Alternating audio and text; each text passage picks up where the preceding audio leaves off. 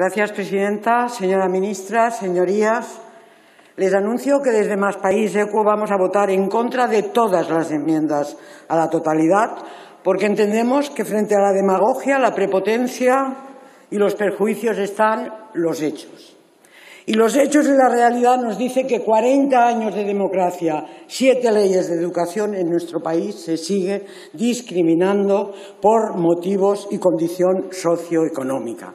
Y la realidad nos dice que un niño o niña con pocos recursos tiene cuatro veces más posibilidades de, de repetir curso que otro niño o niña con las mismas capacidades pero con más recursos. En eso sí estamos en la cabeza, en la repetición.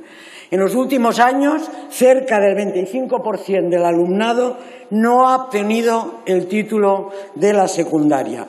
Como las repeticiones, el abandono va por barrios y de nuevo son agraciados las poblaciones más desfavorecidas. Las repeticiones apenas tienen incidencia en los niveles más altos de nuestra sociedad. ¿Será por esto que ustedes encuentran que no es urgente esta reforma? Porque solo afecta a las clases más desfavorecidas. Hay varios factores, pero desde luego la falta de financiación, el incumplimiento de las normas y los retrocesos de la LOMCE han sido determinantes.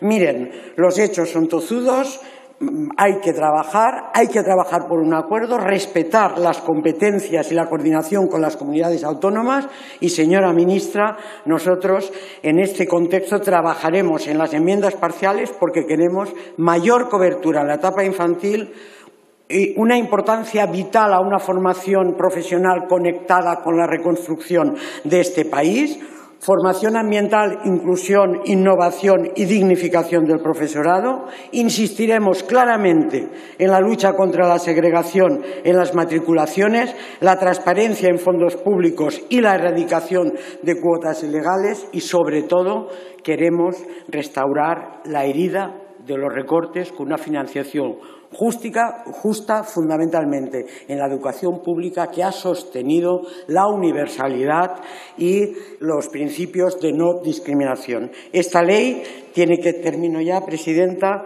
esta ley, señorías, puede ser una nueva oportunidad que nos demos como país, que independientemente del tipo de familia, las rentas o su condición, los niños y las niñas y los jóvenes de nuestro país tengan de verdad las mismas oportunidades. Muchas gracias.